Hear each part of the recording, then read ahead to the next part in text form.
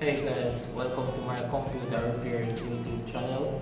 Today I'll be showing you how to remove Windows security from your computer. If you're installing something and it says this page is not available, please contact your administrator. And please remember to like, comment, share and subscribe to my YouTube channel.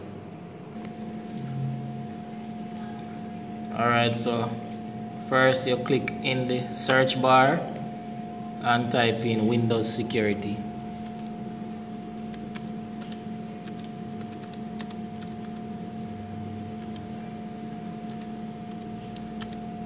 So you then right click on Windows Security. Right click on Windows Security. Windows Security app and select app setting. It will open up the settings so you're going to scroll down. You're going to scroll down. You're going to see terminate. Then you click on terminate once. After clicking on terminate scroll down and you will see reset reset and under reset. You have repair. So I would click repair and allow it to repair.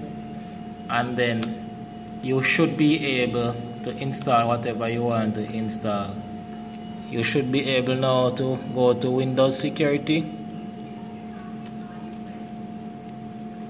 Or you type in antivirus?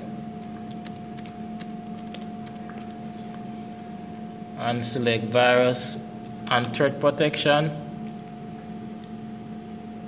And your page should display like this. So now you can click on manage settings and turn off the real-time protection so thank you for watching guys. Remember to like comment share and subscribe to my youtube channel